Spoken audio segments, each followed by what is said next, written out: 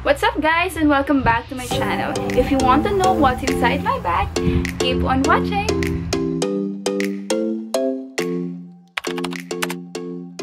This is my cabin bag. So ito yung lagi kong dala whenever I fly. So kapag bubuksan natin siya, this one, yan, meron siyang zipper and meron siyang isang packet dito. Yung packet dito, ang laman is my note, mini notebook. Dito ko sinusulat yung mga details ng flight details kapag ka nagbe-briefing kami. And of course, my pen. And I have this correction tape kasi kapag nagkakamali ako sa inventory, ginagamit ko siya. So, buksan na natin yung pinaka-main packet. So, ang first na nandito is, of course, my passport. Kasi hindi ako makakaalis kapag wala akong passport. Especially kapag international flight. Kasi kailangan namin magpa-check din sa immigration. And also, I have here my competency card. So, para siyang license namin. Hindi rin kami makakalipad pag wala yun. After that, of course, I have my wallet. Yan. And then, my cards. And this one, the coins. Gusto ko tong wallet na to kasi kahit di ko na siya buksan, nasa labas na yung pinaka-coin purse niya. I also have a mirror. Pag nagre-retouch, And I have my mini makeup kit. Ang laman lang nito, konti lang. So, parang pang-retouch lang talaga siya. Andito ang aking press powder. This one. And my lipstick. This, uh, these are the red ones this one, and this one. After that, meron pa akong isang lipstick para kapag layover. Ito lang yung pinaka-favorite ko, yung Caroline in the shade Get A Go. Favorite ko to. And mini suklay! Galing to sa hotel namin dati. So, parang ang liit niya. So, pwedeng-pwede ko siyang dalhin. I also have a mini medicine kit. Kapag nagmimilipad ako, tapos may nanghihingi sa akin ng gamot, ayan, ang tawag nga talaga minsan nila sa akin is pharmacy kasi kumpleto yung gamot ko. Meron ako pang sakit ng ulo, sa sipon, sa ubo, and also sa pag-LBM, meron ako niyan. Meron din akong mini pamaypay. Kasi pag mainit sa labas, paypay lang. And sa secret packet, nandito yung aking pinaka-earrings. So, meron yung extra earrings dyan para once na may mawala, may kapalit. And also, nagdadala ako lagi ng padlock. Ewan ko, nakasanayan ko na magdala ng padlock para kapag may iniwan akong gamit, pwede kong ilock yung bag ko, ganun.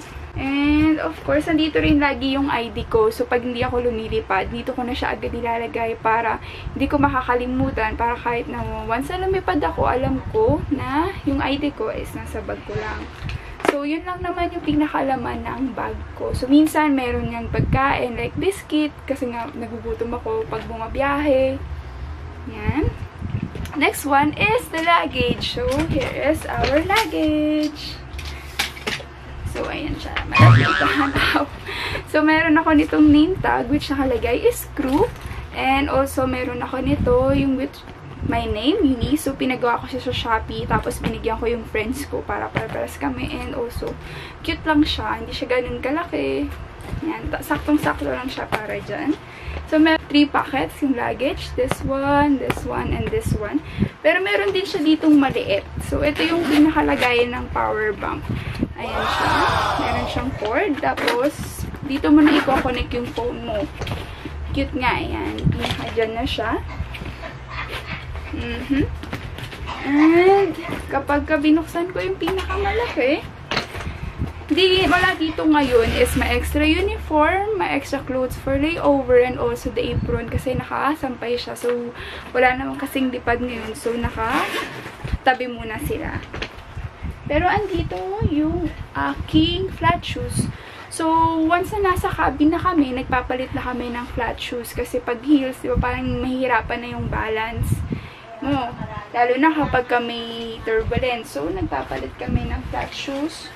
After na, dito rin yung aking extra stockings para once na mag-run man yung stockings ko, yan, may pamalit ako. Ito yung hanggang tuhod lang kapag ka naka-pants kami. And this one, the pantyhose, of course, pag naka-skirt. And then, meron akong toiletries para once na may layover kami, meron akong toiletries. Also have the mask. Ay!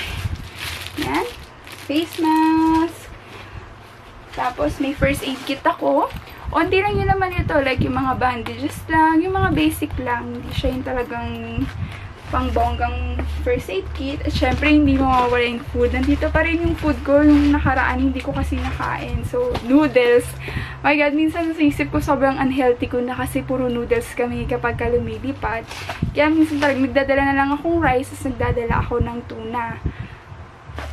And then, ito, this one, the swak, hindi ako umiinom ng coffee kapag ka nasa flight. Kasi one time, sobrang sakit ng tiyan ko, nagloko yung tiyan ko, uminom ako ng coffee, Tapos parang nasusuka na ako, sabi ko hindi ko na talaga ulitin, uminom ng kape. Pero minsan pag talagang puyat, talagang kailangan ko magising, sige, umiinom ako, pero konti lang. And then, this one, sa second packet, nandito yung aking reviewer. So, nandito yung mga pang-recap ko ng mga, ah, pag sa manual, nandyan yung konti. And this one, may safety directives. So, hindi ako makakaalis din nang wala tong safety directives. Also, this one, the flashlight. Yan, magana yan, oh. Hmm. I also have my spare batteries para sa flashlight. And also, this one, the clicker. So, ito yung ginagamit namin pag nagbibilang kami ng passengers. So, i-click-click yan. Also, I have here my sewing kit para kapag nasira yung palda ko, natanggal yung lock dahil masikip na. Pwede ko pang tahiin. Nasisave pa ako. So, yan. Meron ako ditong sewing kit. And then, for the last packet, nandito lang is scarf pa. Pagka may layover, ganun. Wala masyado ko nilalagay dito kapag talagang may mga kailangan lang akong kunin agad. Dito ko siya nilalagay para hindi na ako magkakalkal ng bag.